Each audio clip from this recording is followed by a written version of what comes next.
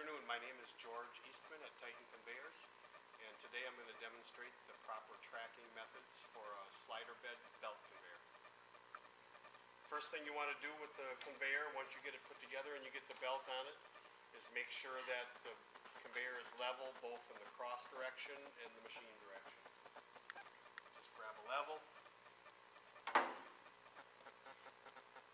And make sure that it's straight canted or twisted can have a huge impact on belt tracking, so this is a very important step. We have it level. Next thing you'll want to do is make sure that the infeed shaft and the, and the drive pulley are square to themselves and square to the machine. So before the video, I took the liberty of making sure that the drive pulley was square just by measuring from the edge of the frame to the center of the shaft.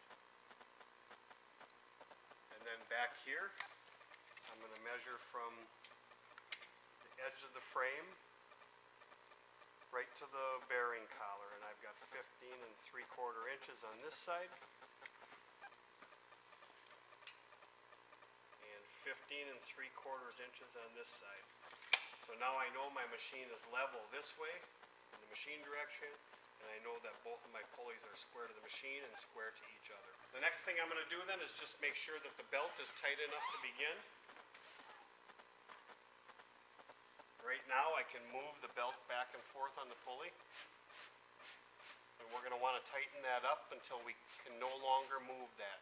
So we'll tighten up the take-ups here in small increments, say a quarter inch at a time, until I can't move that belt back and forth on the infeed pulley.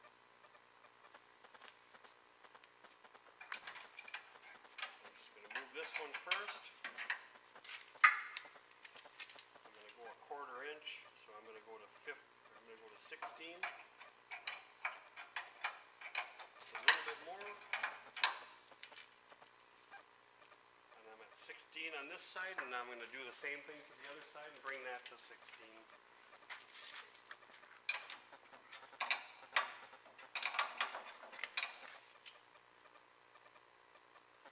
And now we're at sixteen at both sides. Check my belt tension. And now it's on that pulley nice and firm. The other thing that I'll typically do is I'll slide my hand under here and just make sure that I can get my hand width under there. Uh, and it's a little bit snug, not too tight. I wouldn't want it so tight that I can't get my hand in there. So that looks pretty good to start out. Now we'll go ahead and start up the machine, and after we start up the machine, the first thing we'll do is just sit and watch and see, see what the belt does.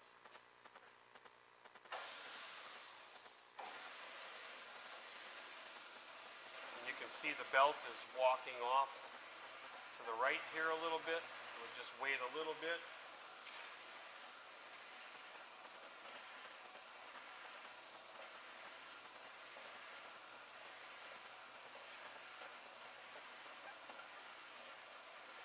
Belt, we have to move over to the left a little bit.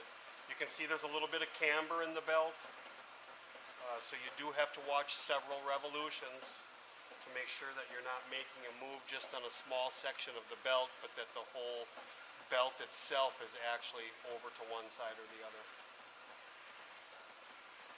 So I'm gonna make a small move on this. I'm gonna take the infeed pulley and I'm gonna take that from sixteen to about sixteen and maybe a sixteenth.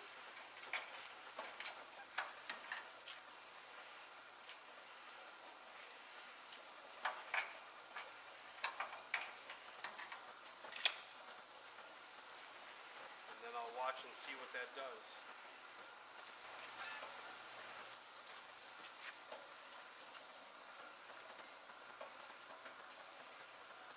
Normally, in between moves, I would wait three full revolutions of the belt.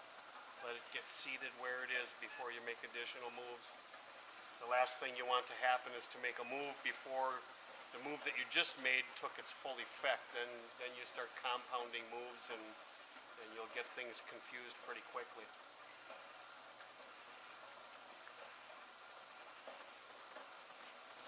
Okay, I've waited three full revolutions of the belt. You can see that the belt still needs to be shifted over to the left side a little bit. So I'm gonna make another move.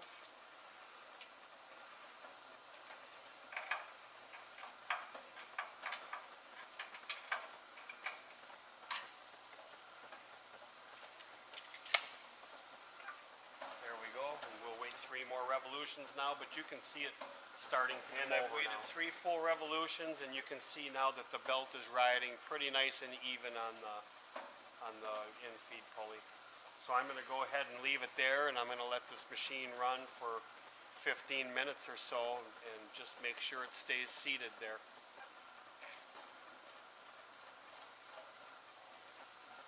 Take a look at the drive pulley at this time. So you'll want to come up here and take a look at your drive pulley, make sure the belt is tracking right on the edges of the drive pulley also. Uh, there are times when you get it to track on the in-feed pulley, but it'll be off slightly on the drive pulley. And that's, if, if it was off on the drive pulley, that's where we'd use this snub roller. We'd go ahead and move that one way or another to be able to get the belt to move one way or another on the, the drive pulley. I can take this and move it all the way forward just to demonstrate on the edge. You'll actually see that belt start to move over.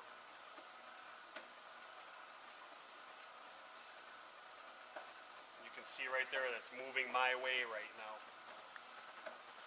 If I let it back, then it'll, it'll go back over. So if the belt had been off, I can move it on the drive pulley a little bit one way or the other with the snub roller, and it won't impact the, the in-feed. It's too far away from this roller to impact the, the in-feed pulley, so you'd Okay, so The machine has run for about fifteen minutes. I'm happy with where it is. Everything looks like it's tracking real good.